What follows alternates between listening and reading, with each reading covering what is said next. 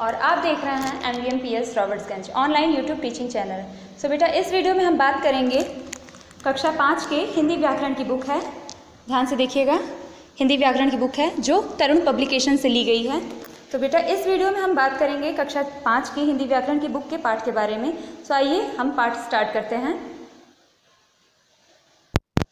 तो इस वीडियो में हम बात करेंगे बेटा, कक्षा पाँच की हिंदी व्याकरण की बुक है, के पाठ तेरह, जिसका नाम है शब्द भंडार। तो आइए पढ़ते हैं शब्द भंडार को।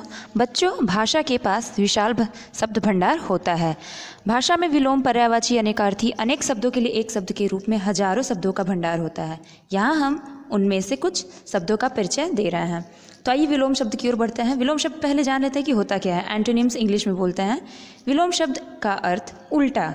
उल्टा अर्थ प्रकट करने वाले शब्दों को ही हम विलोम शब्द कहते हैं। तो नीचे दिए गए विलोम शब्दों को पढ़ें और समझकर याद कीजिए।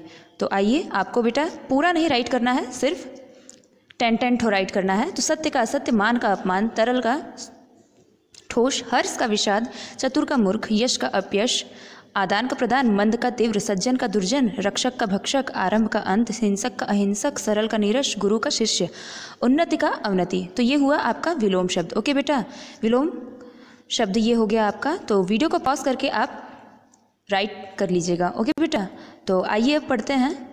विलोम शब्द किसे कहते हैं? या विलोम शब्द का अभिप्राय क्या है? तो प्रश्न है, विलोम शब्द से क्या अभिप्राय है? तो उत्तर है आपका, विलोम शब्द का अर्थ उल्टा होता है। या उल्टा अर्थ प्रकट करने वाले शब्दों को ही हम विलोम शब्द कहते हैं, जैसे अर्थ का अनर्थ, विशाल का, जैसे अर्थ का अनर्थ, मान का अपमान, तरल का ठोस, ओके? अब आइए पढ़ते हैं हम लोग पर्यायवाची शब्द। पर्यायवाची शब्द किसे कहते हैं? आइए पहले हम लोग जान लेते हैं। अर्थ की दृष्टि से समान होने वाले शब्द पर्यायवाची शब्द कहलाते हैं। इन शब्दों का अर्थ एक दूसरे से मिलता जुलता होता है, पर भाव में कहीं कहीं थोड़ा अंतर भी होता है। जैसे, आइए पढ़ते हैं पर्यायवाची शब्द। बेटा, आपको पर्यावाची शब्द को आप वीडियो पॉज करके इसे राइट कर लीजिएगा ओके तो वीडियो पॉज करके आई होप आपको दिख रहा होगा, मैंने फॉन्ट को बड़ा बड़ा कर दिया है। तो शब्द और पर्यावाची शब्द, एक शब्द के जो कई अर्थ निकलें, वही सब पर्यावाची शब्द हैं। तो आइए देखते हैं, जय का पर्यावाची शब्द, जीत विजय सफलता, पराजय का हार, नाकामी असफलता, आपको इसमें से सिर्फ़ फाइव ठो लिखना है ओके जय से अभिलाषा तक अपनी कॉपी में। अधिक का पर्याप्त, काफ़ी अधिक, अति आज्ञा का हुक्म, आदेश, निर्देश, अभिलाषा का इच्छा, चाह, कामना। ओके बेटा? आप इसे वीडियो पॉज करके आप इसे पूरा पढ़ लीजिएगा, ओके? और आपको अपनी कॉपी में सिर्फ़ और सिर्फ़ फाइव ही लर्न करना है। तो आइए थोड़ा सा इसके और आगे जानते हैं। जल के पर्यावाची में ज, जोड़ देने से कमल के तथा द जोड़ देने से बादल के पर्यावाची बन जाते हैं। ध्यान दीजिएगा। ओके बेटा? इसमें बोल रहा है कि जल के पर्यावाची में ज जोड़ देने से कमल तथा द जोड़ देने से बादल। तो ध्यान दीजिएगा, ये कमल है तो नीरज, अंबुज, वारी, ज, ओके? अब यहीं पे अगर हम देखें तो क्या हो जाएगा बादल का? नीर द अम्बू द वारी, द, ओके बेटा? तो बहुत ज़्यादा डिफरेंस नहीं है, बस ज और द का आपको ध्यान रखना है। अर्थ की दृष्टि से लगभग समान होने वाले शब्द पर्यावाची शब्द कहलाते हैं। तो आइए अब आगे बढ़ते हैं हम लोग। अनेक शब्दों के लिए एक शब्द okay one word substitution English में बोलते हैं बेटा। तो आइए हम लोग देख लेते हैं। अपनी बात यदि कम से कम शब्दों में कहते हैं तो इससे भाषा अधिक प्रभावशाली हो जाती है। भाषा के कुछ शब्द ऐसे भी होते हैं जो अनेक शब्दों के लिए, जो अनेक शब्दों के स्थान पर प्रयोग किए जा सकते हैं। ऐसे शब्द अनेक शब्दों के लिए एक शब्द या स्थानापन्न शब्दों के नाम से जाने जाते हैं। ऐसे ही कुछ शब्द नीचे दिए गए हैं। तो बेटा, ये मैंने आपको सिर्फ़ और सिर्फ़ इसे भी आपको अपनी कॉपी में फेयर कॉपी में सिर्फ़ फाइव ठो ही लर्न करना है, पूरा नहीं लर्न करना है राइट करना है ओके सिर्फ़ फाइव ही आपको राइट करना है। तो जो देखने योग्य हो, दर्शनीय। जो प्रशंसा करने योग्य हो, प्रशंसनीय। चारों ओर ध्यान रखने वाला चौकन्ना, जिसकी मृत्यु न, जिसकी मृत्यु हो चुकी हो, स्वर्गीय। जो कठिनाई से प्राप्त हो दुर्लभ ओके जिसका कोई अंग बिगड़ा हुआ हो, विकलांग।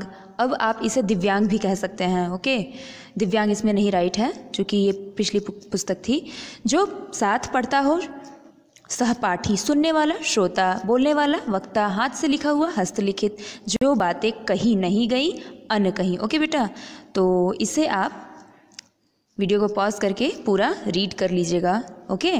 तो आइए पढ़ते हैं आगे।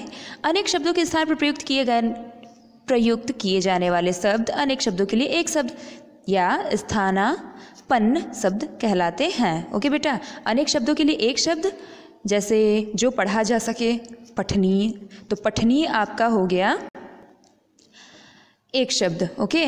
और जो पढ़ा जा सके, ये अनेक शब्द है। इसे हम स्थानापन्न भी कहते हैं। आइए, अब आगे बढ़ते हैं हम लोग। तो अनेकार्थी शब्द अनेकार्थी शब्द को इंग्लिश में कहते हैं words with words with various meaning okay तो कुछ शब्द ऐसे होते हैं जिन, जिनके एक से अधिक अर्थ होते हैं। इन शब्दों का अर्थ प्रयोग के अनुसार बदलता रहता है। विभिन्न परिस्थितियों में भिन्न भिन्न अर्थ देने वाले ये शब्द अनेकार्थी शब्द कहलाते हैं, जैसे कल। कल शब्द का अर्थ मशीन भी है और बीता या आने वाला दिन भी। तो आइए हम लोग इसमें भी बेटा आपको सिर्फ़ और सिर्फ़ अपनी फेयर कॉपी में फाइव ही राइट करना है ओके तो निम्नलिखित शब्दों के अर्थ और उनके वाक्य प्रयोग पर ध्यान दीजिए। तो अंक का है पहला अर्थ गिनती के अंक और दूसरा अंक है नाटक के भाग।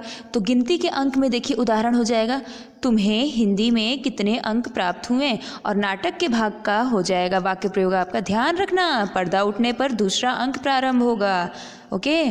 तो अर्थ का है धन, उद्देश्य, उत्तर का है जवाब, दिशा, कर का है हाथ, टैक्स, पानी का है इज़्ज़त, जल।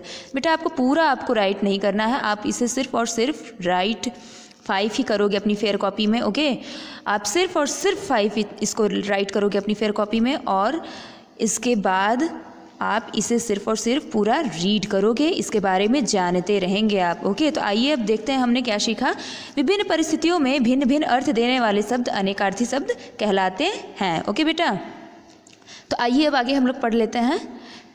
ये लेशन है ये बेटा, इसमें इतने ज़्यादा कंटेंट जो आपको मिल रहे हैं, इतने ज़्यादा जो आपके मिल रहे हैं ये सब विकल्प तो ये आपके शब्द भंडार है। तो शब्द भंडार उसी कहा जाता है जिसमें पर्यावाची, विलोम, शब्द, अनेकार्थी शब्द, श्रुति, संभिन्नार्थक शब्द, ये सब आए। तो अब आइए हम लोग देख लेते हैं श्रुति संभिन्नार्थक शब्द।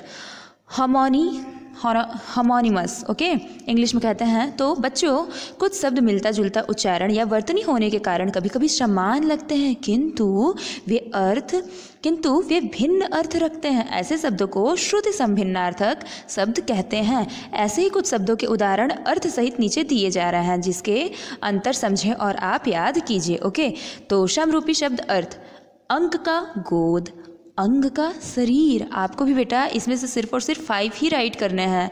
बाकी आप इसके बारे में जानते रहोगे, इसे आप अपनी फेयर कॉपी में सिर्फ़ फाइव ही राइट करोगे। लेकिन जानते पूरा रहोगे, आप इसे रीड करोगे।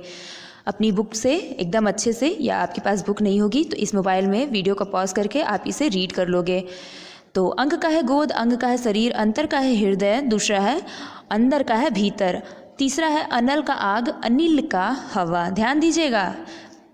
शब्द एक ही है, लेकिन बहुत ही माइनर मतलब हल्की सी बस चेंजेस हैं, मात्राओं की। आदि का अभ्यस्त, आदि का प्रारंभ, गृह का घर, ग्रह का नक्षत्र। ओके बेटा? तो आइए हम लोग देख लेते हैं कि हमने सीखा क्या? तो जो शब्द, वे शब्द जो सुनने के समान हों, किंतु अर्थ, किंतु जिनका अर्थ भिन्न हो, वे श्रुति संभिन्नार्थक शब्द कहलाते हैं। ओके बेटा?